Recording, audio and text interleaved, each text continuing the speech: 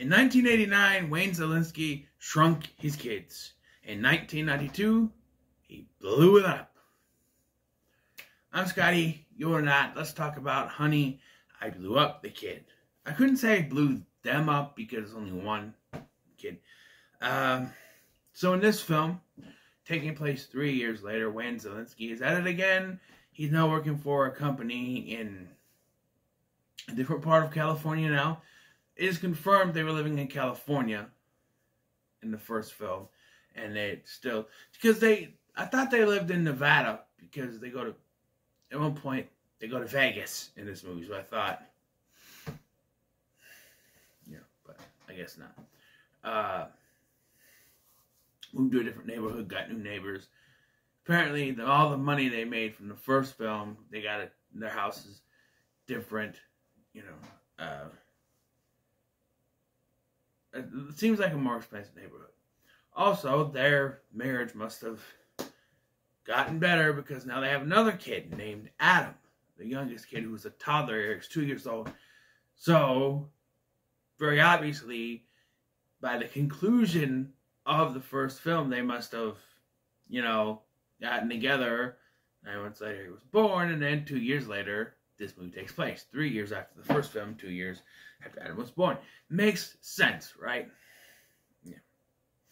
Uh, although it does bring into question that whole here's the more dinners with the Szalinskis and the uh, Thompsons because uh, they just not mentioned in this film.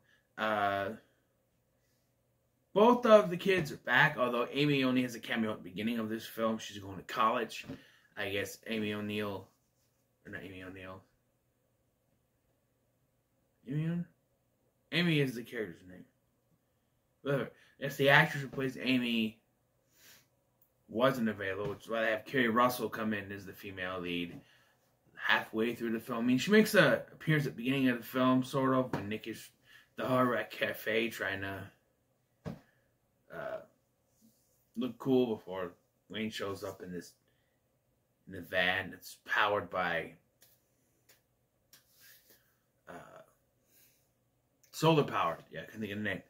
Uh, and uh, yeah, so Amy goes off to college and her mom is taking her there, so she's out of the picture beginning of the movie.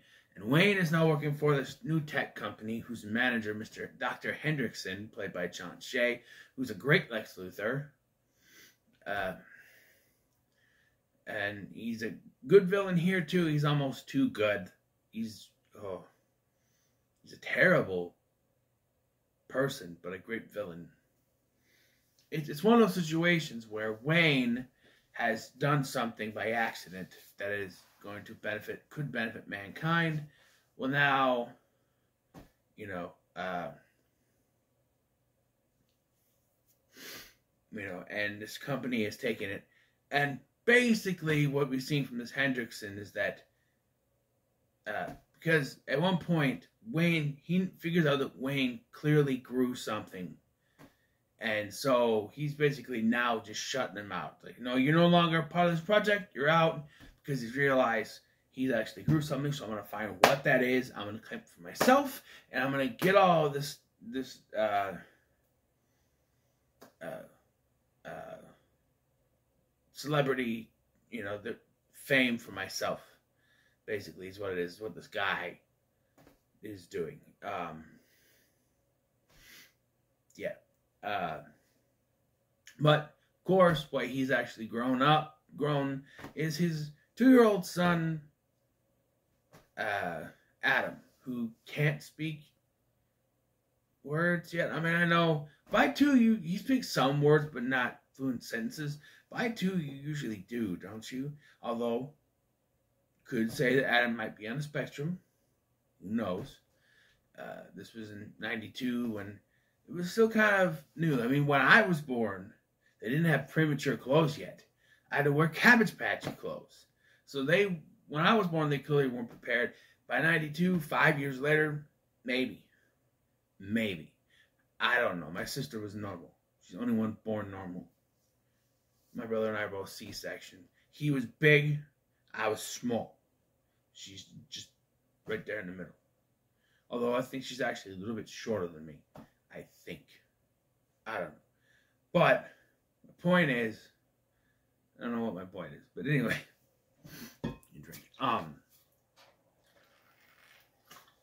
Yeah, my point was that Adam is not speaking yet. Not full sentences. Sometimes it takes longer. My son was at least a year and a half when he started. Well, he was speaking sort of things. I don't know about sentences. Maybe he was close to. Maybe he was around two when he started speaking sentences. Maybe he's just getting close to it. Who knows? But uh, yeah, so he uses some kind of thing. So it's established later in the film, not the beginning, that this machine they're using is not the machine from the first film.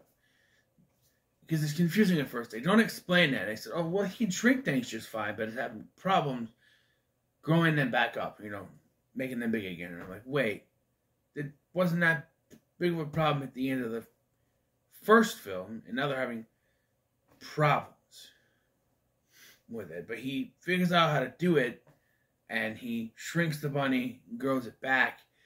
Uh, but Adam happens to be there. Is he trying to grow the bunny?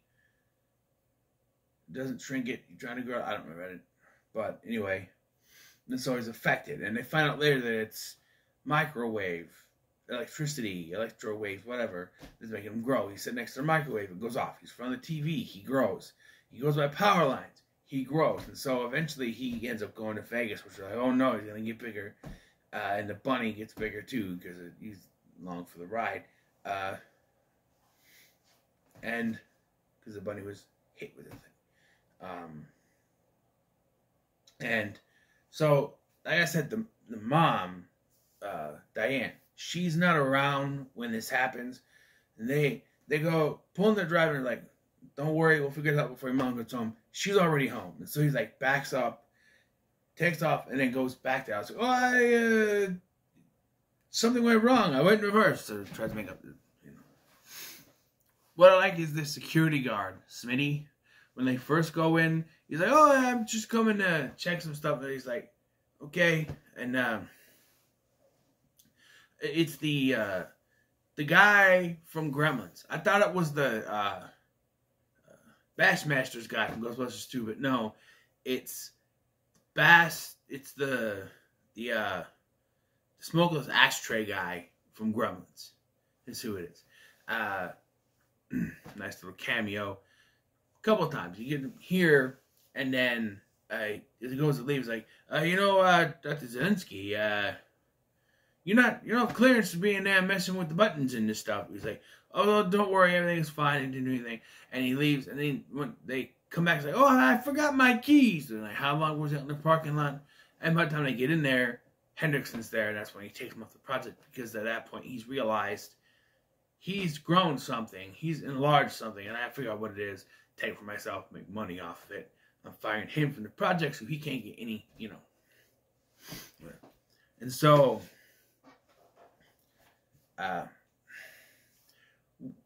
eventually, Wayne realizes he needs to get his old machine from the storage and use that to shrink him. So he and Diane go to do that.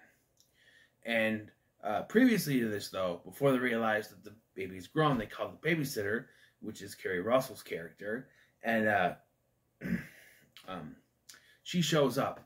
And I'm sorry, but she's the most adamant babysitter.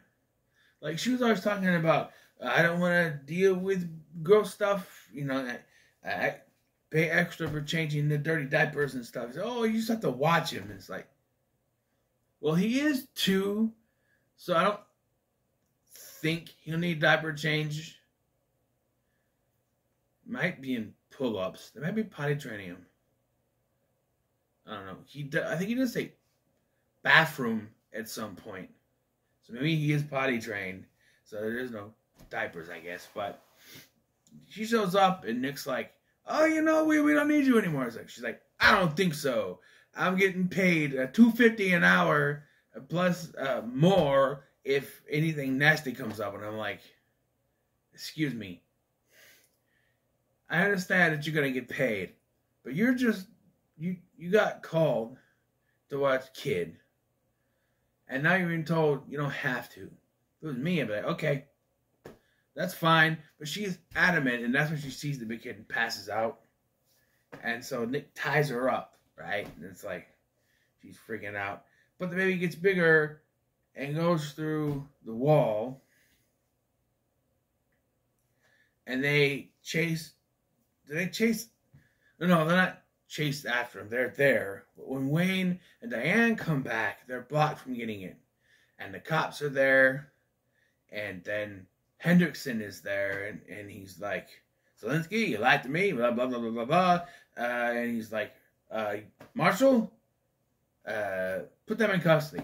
For what? Child's endangerment, blah, blah, blah, blah, all this stuff. And it's like, well, okay, if you're going to have arresting some, arrest someone for the stuff that you're saying, which could be true, then it's Wayne, because Wayne's the one that did it, not Diane, but they don't get arrested.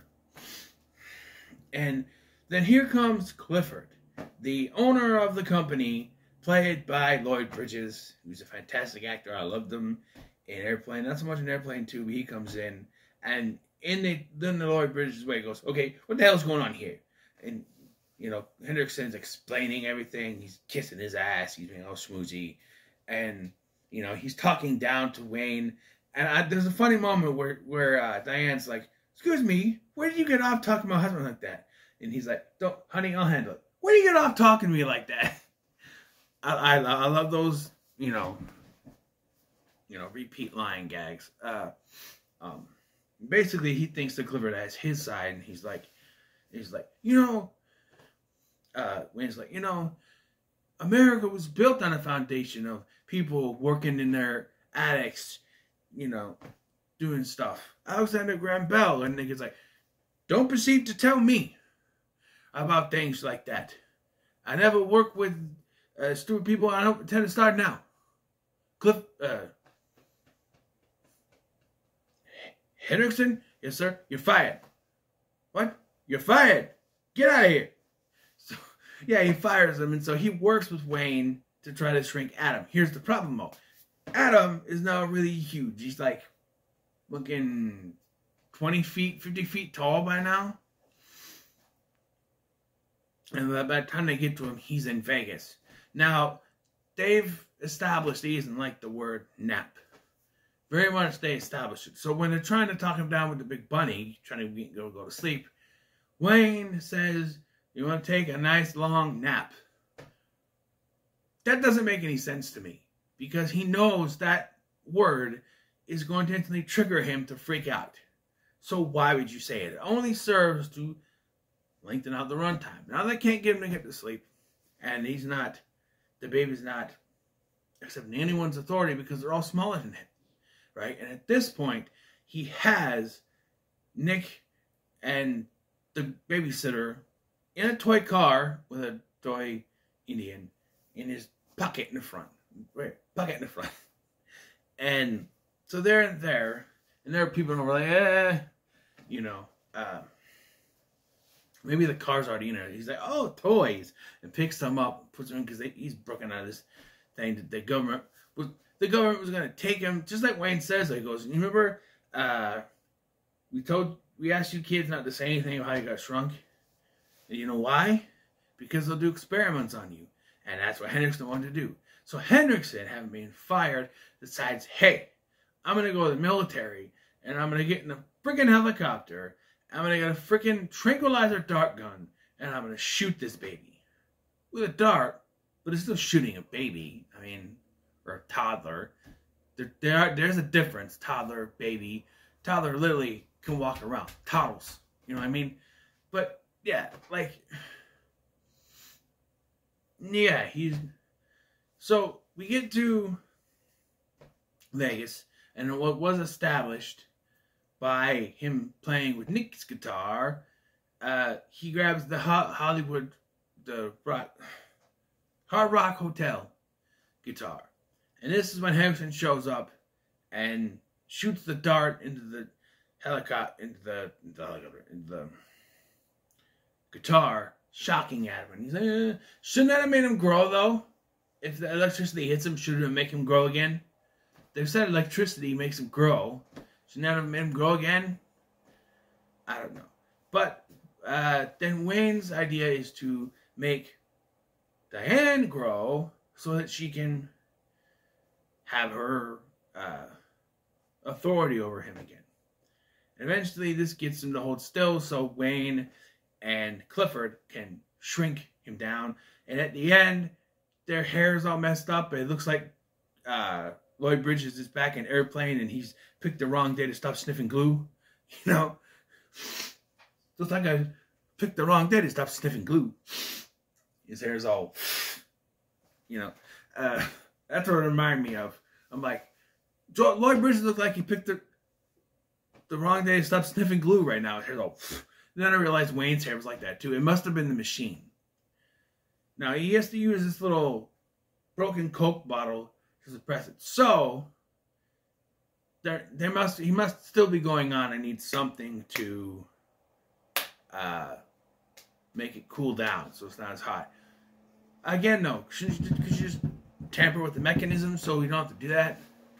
I don't know. And it seems like like the prototype should have been what they were using, not a new one.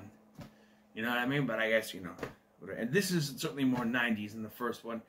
Wasn't really 80s to be honest. It was the late 80s. This is 92. That was when 90s I started having identities. This was really 90s, but yeah. And there's a giant ass bunny. But Nick and the babysitter fell out, and they're still so they're they got shrunk, and then they fell out of his pocket, so they're still shrunk, but they're having a little bit of romantic time, so they're gonna give him time. And yeah, uh, Diane punches Hendrickson for shooting at the baby. Uh, what I don't like is when they're grown up, they slow down their voices. Daddy. It wouldn't do that. Why? Make them sound deeper, maybe, but not. Even the even Diane's like not so fast. I'm like, why is it slowed down? They're giant, not in slow motion. I don't know. Overall, though, that last movie was good. Gonna say it's pretty, pretty, pretty, pretty good. It's another one that I've. I think I watched the original more than this because that's the one I had on physical media, at, up to this point at least. But it's still a good one. I remember it was on a lot of the movie channels, not Disney, but like movie channels like uh, HBO Family stuff like that. And I used to watch it on there. You know, it's a good movie. I think I think it's a decent sequel, follow up. Now, I don't think I'll be saying the same thing about the next one because I have I have issues.